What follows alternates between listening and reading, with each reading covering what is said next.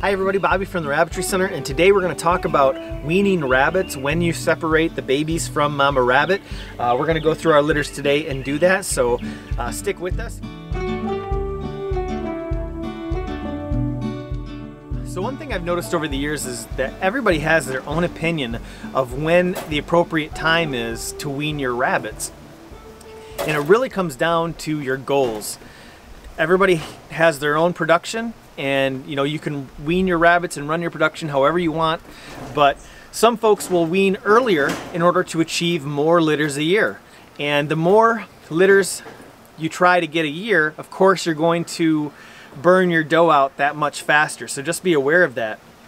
But you know rabbits will need at least four to five weeks at least to have a really strong immune system and that doesn't mean that you can't produce good rabbits around that time or even earlier with premium nutrition. It's just difficult.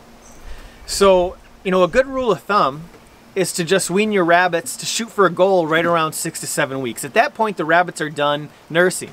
You know, you, you can pay attention to your rabbits. You can see that. You won't see them nursing anymore. And the milk starts to dry up right around four weeks. But that doesn't mean that if the kits wanted to nurse and they continued to nurse, mama would still produce milk. You know, it was a couple of videos ago we were talking about how uh, you can foster kits to a mama doe, even if she just weaned her kits, she'll start lactating again. So it's really supply and demand. That's how that's how uh, lactation works with these does. But it's just important to not remove all the kits at once when she's uh, nursing regularly because what will happen is it could possibly irritate one of uh, the, the nipples, the, one of the nipple regions, one of the teats. So just pay attention to that. This is something that you may want to uh, come up with your own program where you're constantly doing or weaning the same way to avoid this. So what's a safe bet? How do we do it? Well, we wean regularly around six to seven weeks. We'll, we'll take most of the rabbits and just leave a couple with mama rabbit just in case, just to avoid any kind of irritation, to let everything dry up gradually. We're gonna leave a couple rabbits with the mama rabbit for just a few days. Just to make sure that her body knows that it's everything's starting to dry up and everything can start that cycle because we rebreed our does at four weeks. So when the kits are four weeks old, We'll remove mama, we'll breed her, we'll bring her back to her kits, we'll let her nurse her litter for a couple more weeks, and then we remove her. So after a couple days of those, you know, only a couple kits in the cage. And in most cases, we don't see any of these rabbits nursing, but it's just to make sure they're gonna dry up correctly. In a couple weeks, she'll have her, her next litter. So what we're gonna do is we're gonna remove the kits and we're gonna put most of the kits into the cage. So let's grab a couple. Uh, we've already grabbed a couple and put them in this cage. This was our biggest litter. We had a litter of 12. And this is our red rabbit or red broken rabbit. So you'll see red broken genes.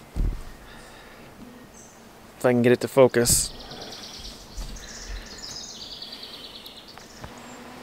And what I do, I used to, now you can take this time to wean them all. I'm looking at this one right now, and I see that this one is a girl. So I'm gonna put her with her siblings. And what I do is I wean, and I come back in a couple days, and then I find out how many does and how many bucks. You can do it all at the same time, so when you remove these rabbits, you can check them and find out if they're male or female. You can get your list going for your reservations so you can start contacting people.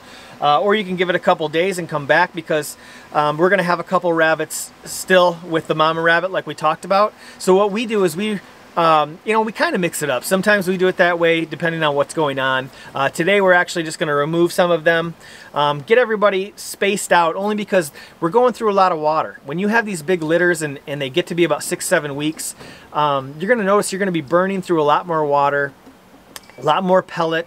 And when you separate them like this, it really makes that water go a little bit farther as well as your pellet. And it just gives mama and the siblings a break because you'll, you'll see this look in mama rabbit's eye like, I am so stressed. Get me out of here. So um, she's really going to be relieved. Don't think that she's going to be stressed out or this is going to make her sad at all. She's, you know, this is what rabbits do. They produce regularly, and she's already thinking about her next litter. So she wants to be removed. Oh, this this rabbit's weird. It doesn't really have that much color. Both eyes are colored though, both ears. I guess there is a little bit. For a second, I thought she looked like a Charlie. Okay. So we got, what do we got? Four broken rabbits, three. So I think we got seven rabbits in there right now. So they've got enough to hang out in there and they can play on that hide box. Let's give them some pellet and some water.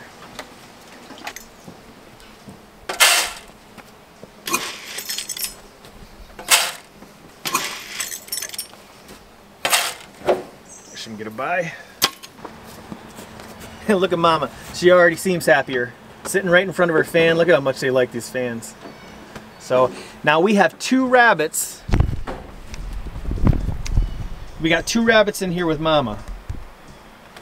So just in case she needs to dry up a little bit more, which she probably does not.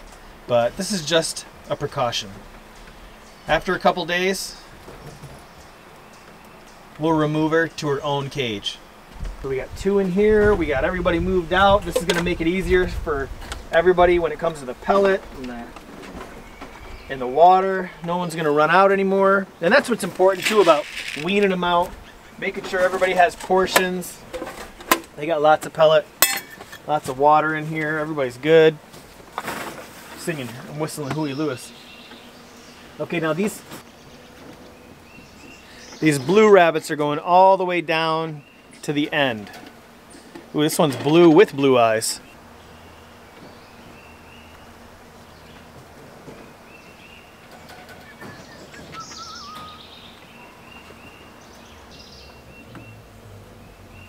You know, one thing about our yard rabbit is that I love watching her and studying her and seeing what she's eating. And because rabbits are terrific at paying attention to their bodies. Animals have to pay attention to their body. They don't, you know, their intelligence doesn't work the same way we do, so they're going to be able to react to what's helping or hurting their body. I'll use an identification on my phone and I'll go take a picture of what she's eating and slowly you'll learn all the different plants or weeds uh, around your property. This has been a terrific experiment for me and it's on it's ongoing. It's an ongoing research project that you can use these rabbits to figure out or help you figure out the food that you have around your property. We have a lot it's very woodsy around here. So and plus you know we we try to grow more and more food for rabbits every year we're currently working on our feed course and so that's just something, uh, stay tuned for that folks. So once mama goes back into her cage, you're gonna cut it back to the original third of a cup. Now if it's in the winter time, I'll do a half a cup of pellet in the morning, and then in the evening I'll do another half cup. If you're only feeding once a day, then I'll do a cup of pellet. And again, it's gonna be right around 0.5 ounces for every pound of rabbit. So if you have a 10 pound rabbit, you're going to be feeding five ounces of pellet a day. Now be sure to read your labeling. You may have some different food, but that's the general rule. So not all rabbits are going to get the same amount. And when you have a litter of rabbits, you know, you'll feed them up to three cups of pellet a day, or you'll notice that there's pellet still left in the, the J feeder and the litter didn't eat all the pellet. Well, then, you know, maybe use a little less. So you're going to gauge this. So, but as far as mama goes, you want to cut her back. You don't want to keep free feeding her because you don't want her to be overweight. And she's going to be getting ready for her next litter in a couple weeks. She's really going to enjoy her peace and also, when you're moving the rabbits around, if you want to use a small tote like this, I just drilled holes in it for more air flow or air circulation.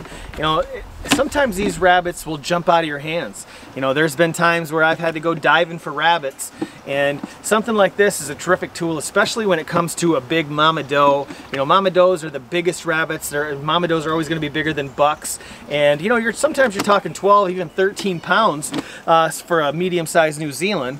So Something like this works really well moving rabbits and carrying rabbits from cage to cage or across the property. So it's imperative that you know rabbits sexually mature right around 14 weeks.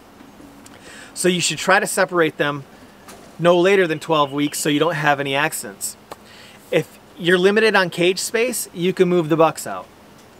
Does can live together for a very long time. They're not going to have a problem uh, until they get bred, and then they're going to want their own area to raise that litter.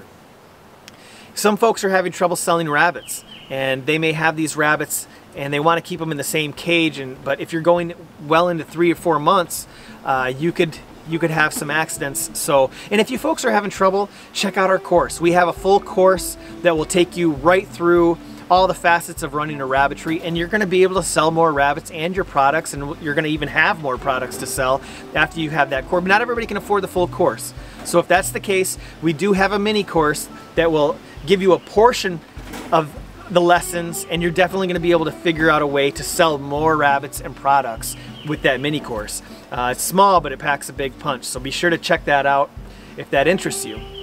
But again you can move bucks out and leave the does with mama and that'll buy you a little bit more time until you process these rabbits or they finally get sold. So, but thank you so much for watching. That's our weaning video. And if you want a little bit more information on weaning, we have a video I can put up in the corner that we launched a few years ago. Uh, but please, if you have any questions or comments, leave them below and I'll try to get back to everybody. Thank you again, and we'll see you on the next video.